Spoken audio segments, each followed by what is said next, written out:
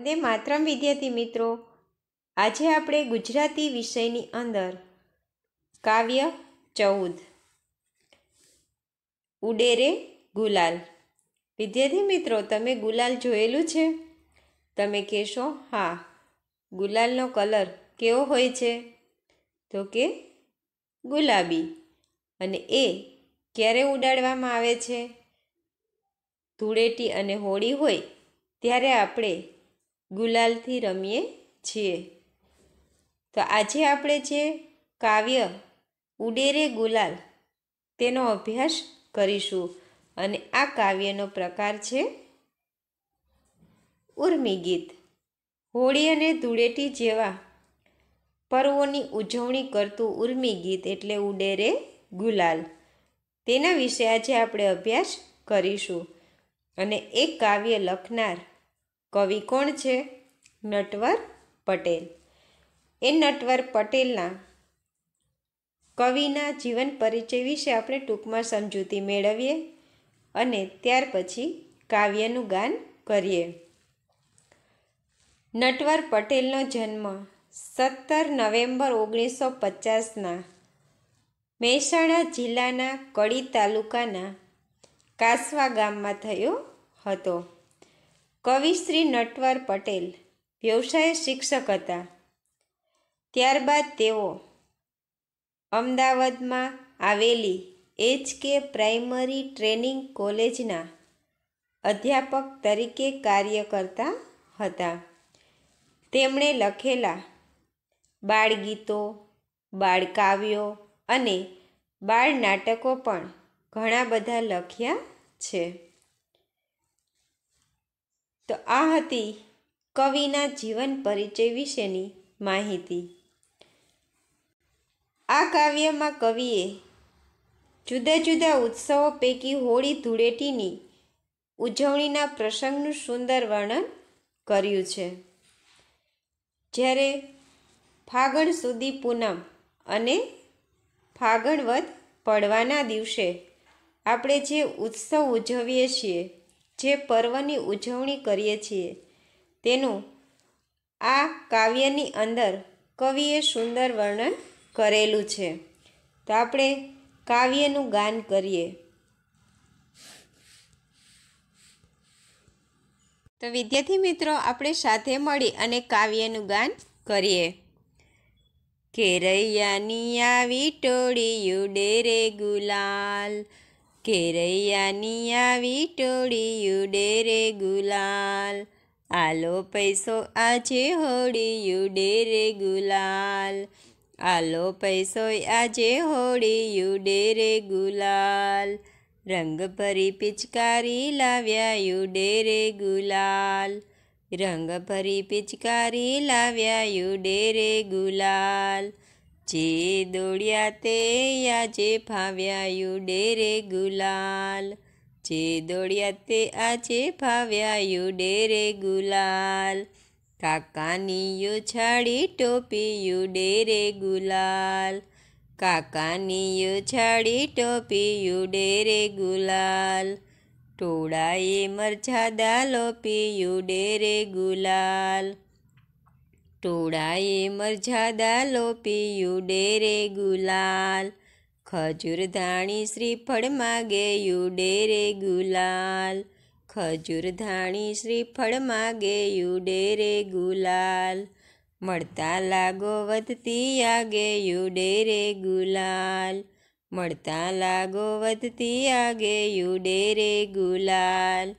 ભાભીજીની ભીંજી ચુંદલડી ડેરે ગુલાલ ભાભીની ભીંજી ચુંદલડી ડેરે ગુલાલ કાકાની રંગી ધોતલડી ડેરે ગુલાલ કાકાની રંગી ધોતલડી ડેરે ગુલાલ રંગે હોળી સૌને સરખાયું ડેરે ગુલાલ રંગે હોળી સૌને સરખાયું ડેરે ગુલાલ. માણો યાનન છોડી નખરાયું ડેરે ગુલાલ. માણો આનંદ છોડી નખરાયું ડેરે ગુલાલ. કેરૈયાની આવી ટોળીયું ડેરે ગુલાલ. કેરૈયાની આવી ટોળીયું ડેરે ગુલાલ. આલો પૈસો આજે હોળી ઉડે રે ગુલાલ. આલો પૈસો આજે હોળી ઉડે રે ગુલાલ. તો આ વિદ્યાર્થી મિત્રો કાવ્ય ગાન વિશે હવે આપણે કાવ્ય વિશે સમજૂતી મેળવશું. તેથી મિત્રો, તમે બધાએ હોળી અને ધૂળેટીનો પર્વની ઉજવણી કરેલી હશે. અને એ પર્વમાં તમે રંગથી રમેલા પણ હશો. જ્યારે હોળી હોય, તે દિવસે હોળીની પ્રદક્ષિણા કરે છે અને તેના દર્શન કરે છે અને બીજે દિવસે ધૂળેટીનો પર્વ ઉજવવામાં આવે છે. ત્યારે બધા લોકો છે રંગથી રમે છે. ત્યારે કોઈ નાના મોટા ઊંચ નીચના ભેદભાવ હોતા નથી. સૌ સાથે હળીમળી અને આ પર્વને ઉજવે છે અને એકાબીજાને રંગથી રંગી દે છે. એટલે કે એકાબીજા ઉચ્ચ નીચના ભેદભાવો ભૂલી અને સાથે મળી અને રંગમાં રંગાઈ જાય છે. એટલે કે રમવામાં રંગાઈ જાય છે. પર્વની ઉજવણી કરવામાં આવે છે. ત્યારે તમે જુઓ, ક્યારેય ઉચ્ચ નીચના ભેદભાવ જોવા મળતા નથી. એટલે પર્વની ઉજવણી એક એવી ધામધૂમથી થતી હોય છે કે ત્યાં લોકોને કંઈ પણ ભેદભાવ રહેતો નથી. બધા સમાન રીતે હળીમળી અને ઉજવણી કરતા હોય છે. કાવ્યમાં કવિ કહે છે કે ધૂળેટીના દિવસે લોકોને ગુલાલથી રંગવામાં આવે છે અને એ ગુલાલથી રંગવા માટે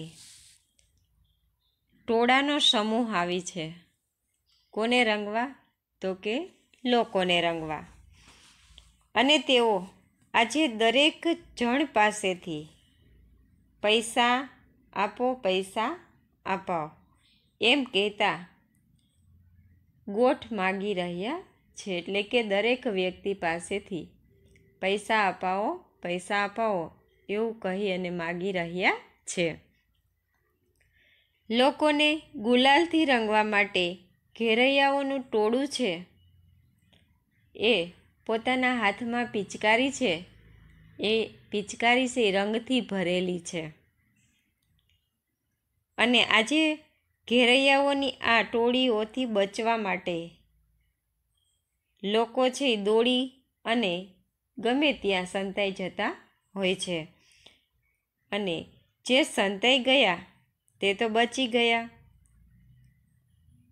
તે પૈસા આપવાથી અને રંગ રંગવાથી બચી જાય છે અને જે ત્યાંને ત્યાં રહી જાય છે એ તો રંગાઈ જ જાય છે રંગથી.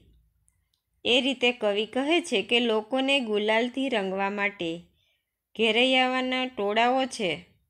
એ તો આજે મર્યાદાનો પણ ભંગ કરીને કાકાની ટોપીઓ છે એને ઉછાળવા માંડ્યા. ત્યારે તહેવારમાં નાના મોટાનું કંઈ માન હોતું નથી. બધા સરખા માની અને મર્યાદા ભૂલી અને એ લોકો રમતા હોય છે. ત્યારે એવું નથી હોતું કે આ મારાથી મોટા છે, વડીલ છે તો એને ન રંગવું પણ મોજથી, મસ્તીથી, આનંદથી બધાને એકબીજાને રંગી દે છે.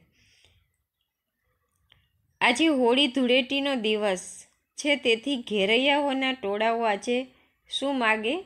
ખજૂર, ધાણી અને ચણા અને શ્રીફળ વગેરે હકથી માગતા માગતા આગળ વધી રહ્યા છે.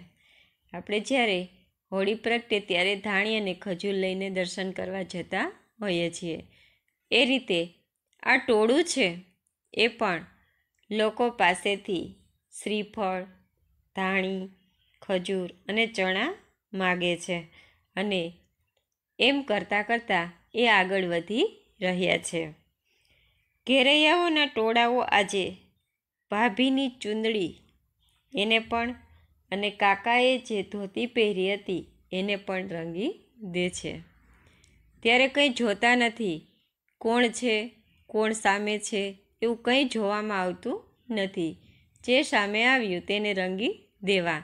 એટલે કે ભાભીની ચૂંદડી છે, એ પણ રંગાય છે. ને કાકાએ જે ધોતી પહેરી હતી, એને પણ રંગી દે છે. હોળી ધૂળેટીનો દિવસ. કોઈ પણ જાતના ઉચ્ચ નીચના ભેદભાવ રાખ્યા વગર. ગુલાલથી સૌને સમાન રીતે રંગી દે છે.